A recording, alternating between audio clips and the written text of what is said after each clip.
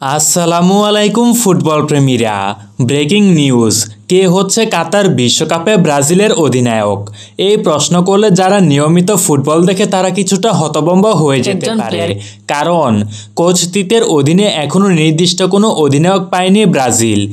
তিতে একের পর এক ম্যাচে এক একজন প্লেয়ারকে অধিনায়ক করে দল ঘোষণা করেছেন।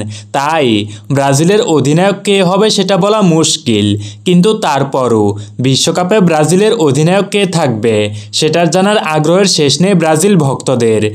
সেই আগ্রহের উত্তরটাই যেন দিয়ে দিলেন ব্রাজিলের সহকারী কোচ ক্লেবার জাভিয়ার।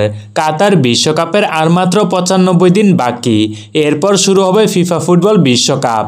কাতার বিশ্বকাপে ব্রাজিলের অধিনায়ক কে হবে? অনেকেই হয়তো ভেবেছিল, নেইমার কিংবা থিয়াগো সিলভাই হবে কাতার বিশ্বকাপে ব্রাজিলের অধিনায়ক।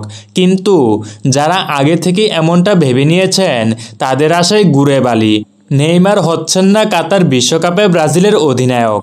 তবে যাদের সম্ভাবনা রয়েছে, তাদের নাম শুনলে আপনি নিশ্চিতভাবেই খুশি হবেন।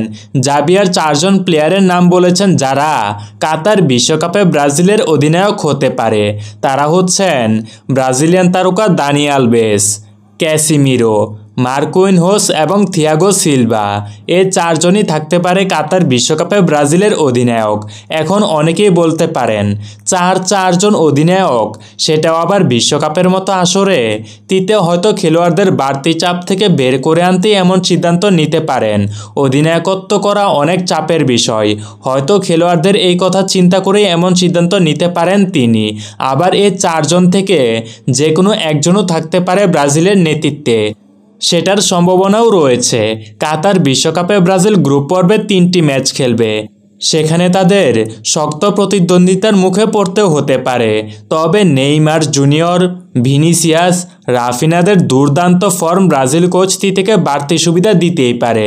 ব্রাজিলের প্রায় সব রয়েছে ফর্মে, যার কারণে কাতার বিশ্বকাপের স্বপ্ন দেখছে ব্রাজিল দল। আপনাদের মতে কাতার বিশ্বকাপে ব্রাজিলের অধিনায়ক কে হলে সবচেয়ে ভালো হয়?